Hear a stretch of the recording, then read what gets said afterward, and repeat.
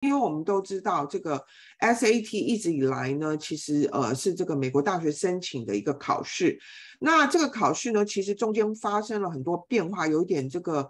呃，就是说这个运气很不好哈。这几年尤其是它的这个运真的很不好，所以现在呢，就是变成了很多的大学呢，就是有几千所大学，就是 SAT 不是说一定要考才能申请，所以。SAT 当然他要想办法生存，所以他就开始想办法要变好来来，就是说尽量适应这个社会，这个呃让大家高兴嘛，哈。所以呢，这个就是最新 SAT 他们要呃就是说改变的这个去这个方向。我们今天来给大家做解释。其实很多的这个升学辅导机构都有报道这个新闻，但是目前我还没有看到一家出来解释这件事情，因为。坦白讲，真正了解 SAT 这个考试的人不多，也许可以教这个考试，但是不见得能够真的破解它背后的逻辑。好，那呃，其实我也不是这方面的专家。坦白说，虽然我是这个公司的负责人，但是 Patrick，因为我们一起工作二十几年了，他是专门研究这件事情的。那 Patrick 他很多的朋友都是在 College Board 上班的，他他的本身。我觉得他对这个 SAT 是有一种热情，所以呢，我也坦白说，今天要讲的内容呢，我是翻译 Patrick 上星期讲的内容。好，因为他是真正的专家，所以呢，我觉得你们听了之后，你们真的是会受益良多，因为他真的是讲出了很多很多重要的，就是表面上你看不到的东西。哈，好，那首先呢，在疫情前呢，其实 SAT 的这个。呃，在审核上的地位呢，就是仅次于就是学校的成绩跟这个呃，就是选课的难度，所以其实这个在之前是一个蛮重要的一个呃审核的考量。但是呢，我们也可以看到，在这么多年下来，从二零零七年到二零一八年呢，其实 SAT 的重量有越来越弱，好，没有说很大的。呃，就不是一下子掉了很多，但是还是有渐弱的趋势，我们可以看到哈。那在疫情之后，因为我们这个协会就是这个呃呃全国大学申请顾问协会呢，我们目前还没有新的资料出来。今年就是呃。我们会在休斯顿开会，哈，那不晓得到时候会不会有新的资料出来。但是这个资料是到二零一八年，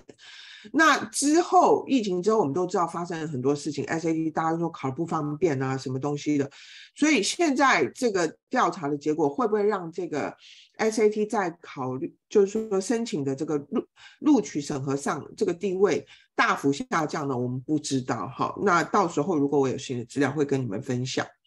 好，那。上次呢，我们讲到常春藤的这个审核的时候，我们也有讲，就是说常春藤大学呢，它其实有一个就是另外的一个审核上重要跟不重要的点的一个呃，就是一个。问卷调查，哈，那我们可以看到，在这上面呢，就是说，除了哈佛大学，他说他会考虑 SAT 分数，他所有的要基本上所有的申请要素，他都说他会考虑，都没有说很重要。可是呢，对于其他的常春藤来说呢，他们都说 SAT 对他们来说是非常重要的，very important，哈。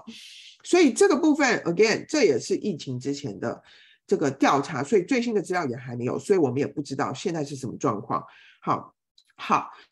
那我们就是说，呃，这个这个哎，二零二二三年 SAT 会开始变声哈，我们先讲它会怎么个变法，它会变成一种线上考试。好，那是从二零二三年的春季开始，由国际生开始考这个线上考试。好，对不起，不是线上考试，是一个电脑考试。好，不是线上考试。电脑考试跟线上考试的差别是什么？线上考试是你是做网络的考试，电脑考试是你要去那个考场考那个电脑上的考试，就是说你不是在自己家考，所以呢，这个是呃电脑考试。好，那。这个部分呢，就是说，二零二三年呢是国际生开始春季的时候，国际生三月份的时候，国际生开始考。哈，其实这个一直以来就是说最不方便的可能就是国际生啊，因为呃，可能很多的考场就是呃被关起来，或不方便出国，或不方便旅行去考试。好，那二零二三年呢，本地的学生呢，PSAT 会用这个电脑考试开始考。那二零二四年呢，春季呢，本地生就会用这个电脑考试。哈，所以呢，这个部分呢，我今天讲的内容呢，所有的时间表是以美国本本地生为主，因为我的学生是本地生为主。哈，好，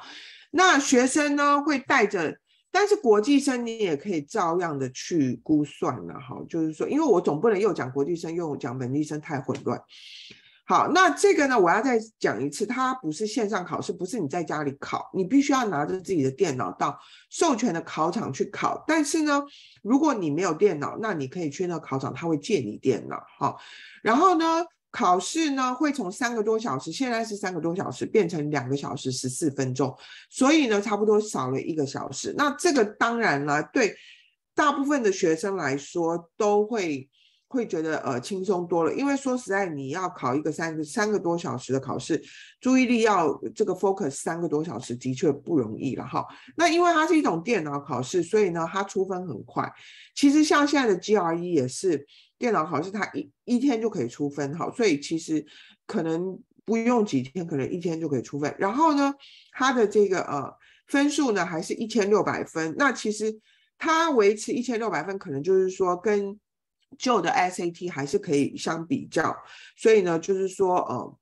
这个就可以直接比了。但是实际上来说，你直接比是不是很公平？说实在，我们现在不知道，因为你不晓得说这样子的考试是不是比较容易哈。所以这个部分呢，就是说很多的东西我们都还未知。但是我们现在就是说，照 College Board 就美国大学理事他所宣布的东西去做分析哈。那总分还是在一千六百分。好，那这个新的这个 SAT 设计呢，就是说它是呃阅读跟写作会变成一个部分。合并哈，就题目会混在一起，然后数学是另外一个部分，然后它的格式呢，就是阅读跟写作或数学呢，它都各有两个，呃，就是说电脑是学生程度的选选题，应该是说有两个模块，第一个模块有二十五题。加上两题是呃属于实验性的这个题目，但实验性的题目就不不会用来打分数，就是说等于是说他他出这个两题实验性，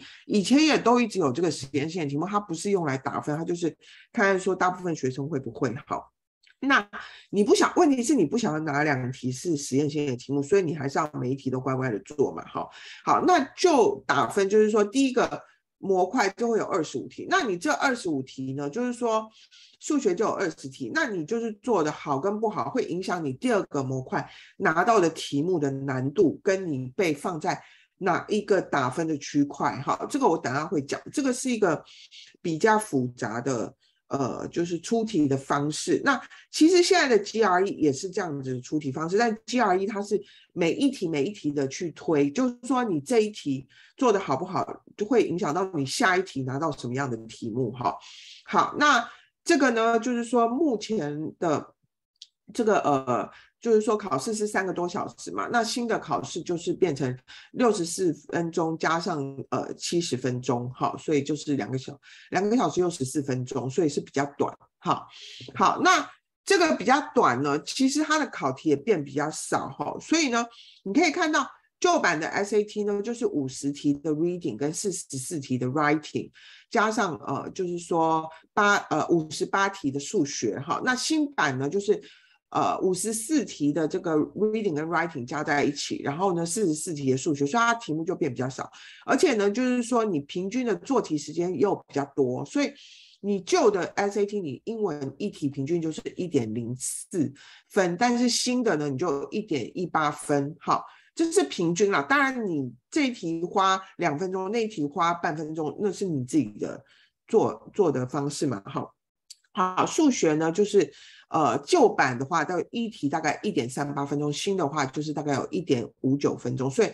不但不但是题目变少了，考试变短了，而且做题时间还增加了哈。好，那刚刚讲到那个电脑选题目的部分呢，这个是 adaptive test design，这个是嗯，就是说呃，电脑会根据你的表现呢，去呃选择你应该得到什么样的题目，然后你应该被分在什么样的得分区块。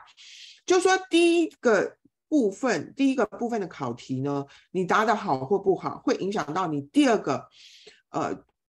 就是第二个部分得到的题目，跟你会被放在什么样的这个分数的这个区块。所以你就是说，当然你第一个部分的答题，你就要非常的 focus，因为有一些。小孩子是他可能要慢慢的才进入状态，可能刚进去的时候头还很晕，都不是非常的这个 focus 哈，然后呢就乱打，然后等到可能就是慢热型，过一会儿才会热起来，然后呢。呃，就是说，可能过一会儿才会开始 focus，慢慢答，好好的答题。可是你不能这样，在新的 SAT 里面，因为如果说你第一个部分答题答的不好呢，你第二个部分你的这个呃拿到的题目就会比较容易，然后你的分数也会自动会变降在比较低的那个区块哈。然后呢，数学跟英文的这个表现呢，就是不会互相干涉，也就是说。比如说你英文拿呃第一个区块没做好，所以你第二个区块拿到题目比较简单。你数学就是重新洗牌了，所以不会受到影响。好，好，那我知道这个有点真的很复杂，所以呢，就是说这里有两个这个呃 example，就是举例哈。譬如说学生在第一。组的题目呢，全部答对了。那学生在第二组的时候，就会被分到这个比较高的得分区块，六百到八百，然后比较得到比较难的题目。那他在第二组呢，如果说只有答错一题呢，他最后就是得到七百八十分。那如果说有一个学生他在第一组区块只答对一半，那他在第二组区块他就会被分到可能四百分以下，或者呃六百分以上。就是说它是四百到六百，但是它有可能会被分到四百以下、六百以上，懂吗？所以它是基本上是四百到六百这个区块的得分，然后他会得到比较容易的考题。那他如果说第二个区块他表现的稍微好一点，那他最后就是得到六百二十分，所以他就比较不可能会进入到六百以上这样子的呃的这个呃区块，因为他的这个呃第一个部分没做好，好。好，那我们来看看这个呃英文的考题设计呢。第一个就是说，阅读跟数学已经合并成一个英文。好，然后第二点就是说，几年前我们都知道他把 essay 给就是删除，所以以后也都不会有 essay，就不用写文章了。然后呢，呃，文章也不会有长篇的文章，会是以短篇的文章或者是数据图形，就像右手边这个数据图形来作为问题的基础。好，那因为之前很多就是说那种长篇的文章，你读读读读到后面你就已经忘记前面说什么了，所以呢，就是在这个选择题在回答问题的时候，你已经忘记这个部分是在这个呃段落里头哪一个部分有讲到这个东西，所以又找不到了。所以呢，这个呢就是说现在就是感觉上应该是比较容易了。哈。好，那我们的建议呢就。就是说，新的这个 SAT 呢，它其实就是说还是会，呃，有一些阅读的这个练习需要，所以呢，其实呃，你还是可以练习旧版的这个考题来适应，就是说新版的这个问题。那第二点呢，就是说这个是我们一直以来都建议的，就是说学生的阅读的部分应该要广泛的内容，因为有些小孩子他就是比较喜欢读某一种。这个内容哈，比如说你特别喜欢读什么科科学啊，或者是文学啊这样子，其实大部分的小孩子喜欢读都是这个 non-fiction，就是非小说类哈。非小说类就是 像我们以前读什么琼瑶小说，那这个呢就是不是这个呃呃 SAT 里面考的，所以呢非小说类大概只有占百分之二十，所以你还是要尽量读那个小呃，就是说非小说。对不起，非小说类是呃，就是占百分之八十，好，那小说类是百分之二十，所以呢，你要尽量读非小说类的这个呃文章。然后呢，如果说你在学校没有学到语法，就是我们讲说 grammar 哈，我觉得我们好像如果是呃，就是说第二外语的英文的这个人呢，可能语法都学的比较好一点，反而是本地的小孩。他们没有很多没有在学校正式学到语法，所以呢，这个部分就是可能还要自己去学或者去补习来学这个语法。好，好，那数学的部分呢，会有四十四题，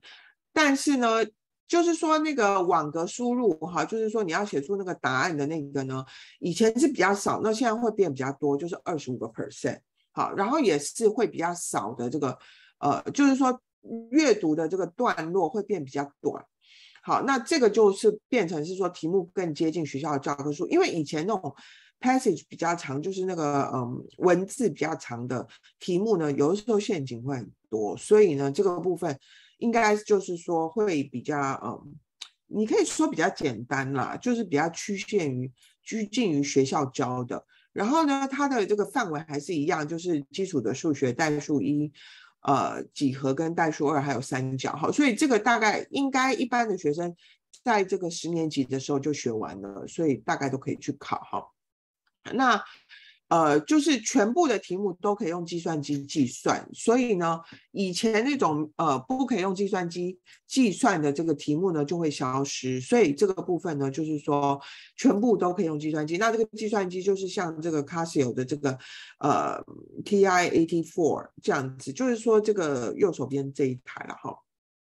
基本上现在允许的计算机就是呃之后都会。继续允许。那如果说你没有带计算机呢，它那个电脑里头也会有这个呃，就是说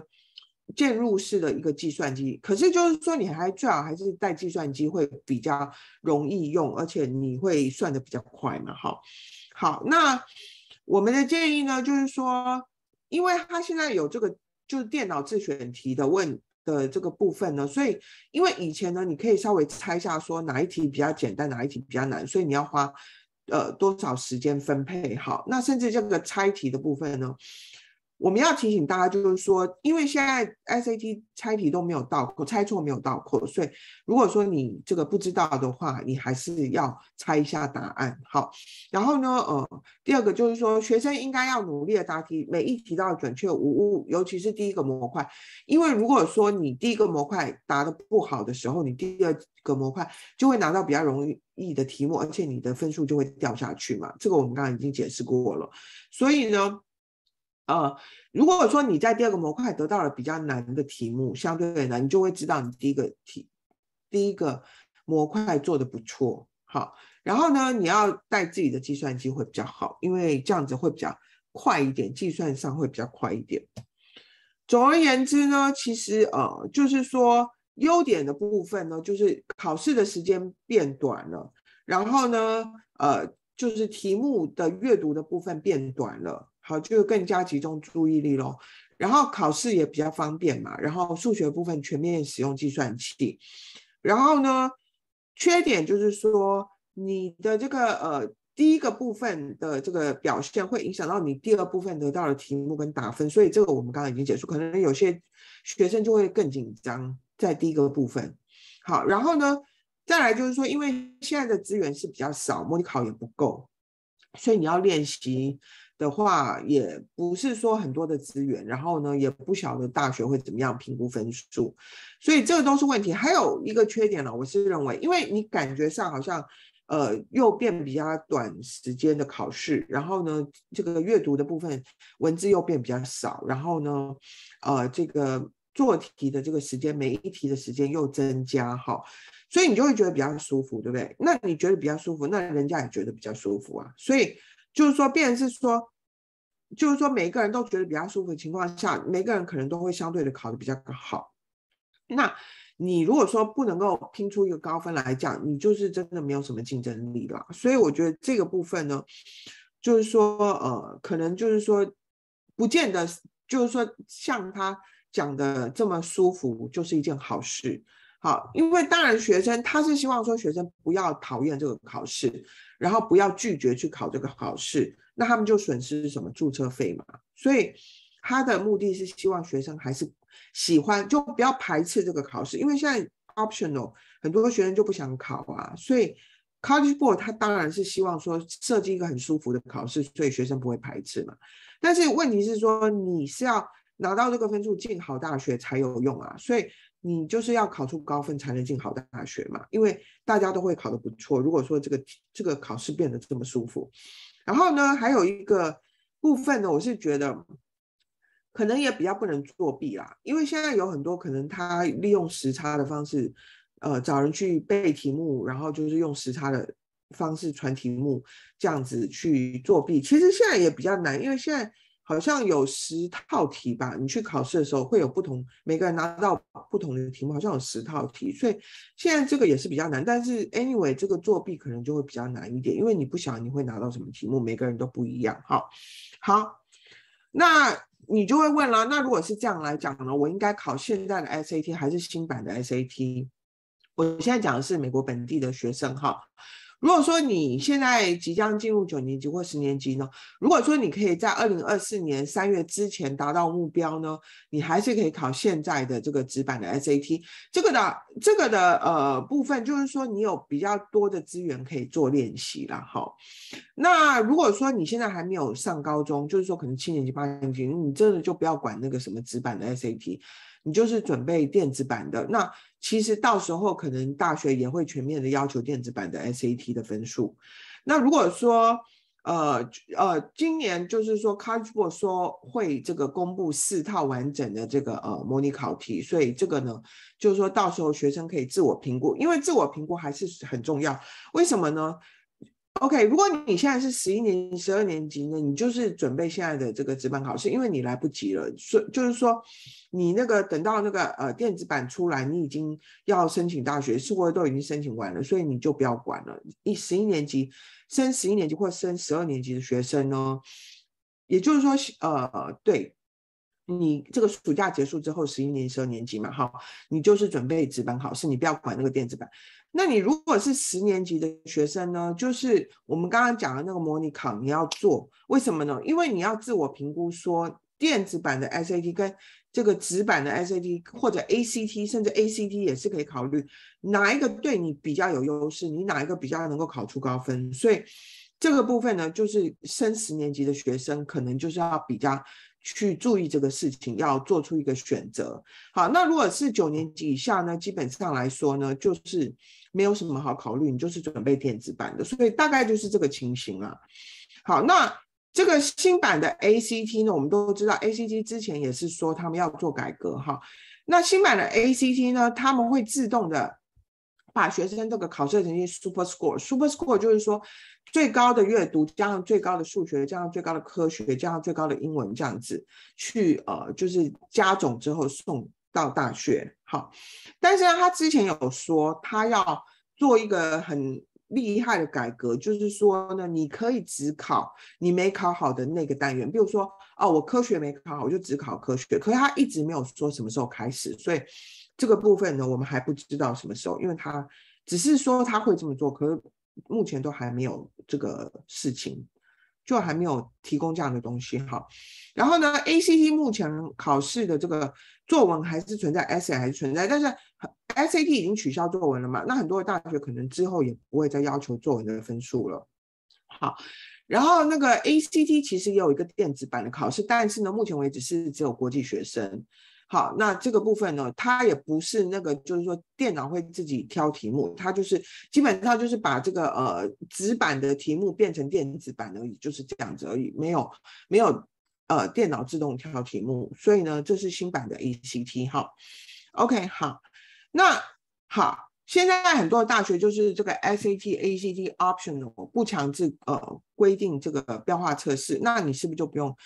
这个交分数了呢，那你就要自我检视。第一个就是说，如果说没有这个标化测试，你是不是还是一个很有竞争力的？你就说什么都没有，哈，就是说 A C T A C 都没有，你。是不是还是一个很有竞争力的竞呃这个申请人？然后呢，你的 GPA 是不是属于高的哈？然后你的课外活动是不是好到可以就是说没有这个标化测试？然后你的标化测试呢，就是说你可以去看那个大学的这个官网有这个，就是以前的这个录取的分数的百分比。好，你是在它百分之五十五十以上吗？其实我们是建议百分之七十五以上。好，你。就是说这个部分呢，你才递送这个分数，因为你如果考得太烂，你真的也不要递送，就自负其短嘛。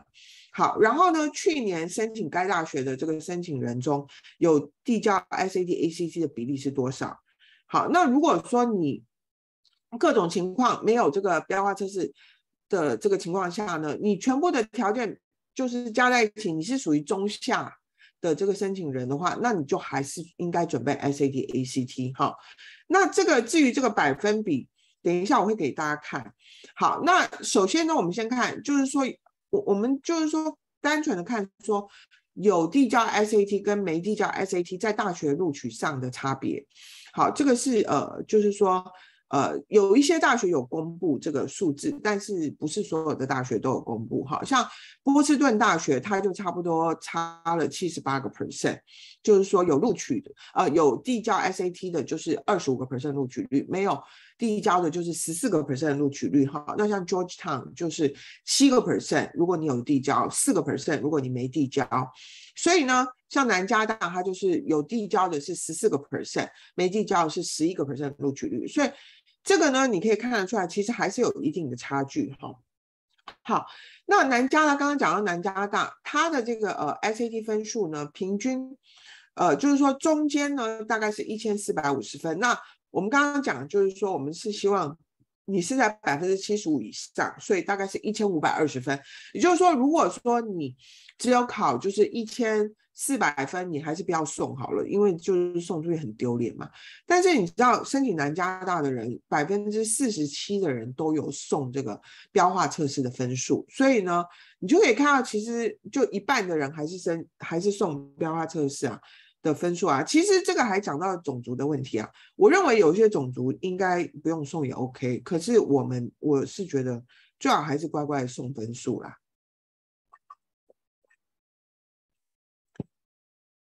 好，那么呢，准备这个 SAT 呢，我们刚刚讲过，就是说你不是只是要准备，你要考出高分，那你一定要跟着最会，呃，这个就是说辅导的这个机构哈。其实我们公司除了 Patrick 之外，哈，我们还有好几位非常专业的这个师资在这个准备这些教材啊。其实这个教材说实在的，像 SAT 已经变了这么多次，不不知道是不是在整你们。绝对是在整我们，因为我们要花很多钱跟人力去写教材。我们公司的教材都是自己写的，所以呢，呃，我们公司就是说，这个呃部分的人才真的是很多。除了 Patrick 之外，像我们的 SAT 英文的这个老师 Gina Henry，在我们公司也教了十几年了。他是呃 UPenn 的这个教育学硕呃学士跟博士哈，然后 Stanford 的 Medical。School，然后呢，呃，我们的这个 Science 跟 Math Science 的 Teacher 呢，Adam Wa 是 Stanford 的生物学士，他也在我们公司快十年了，所以这个就是我们的师资群啊，所以我们公司的这个呃课程真的是非常非常的优。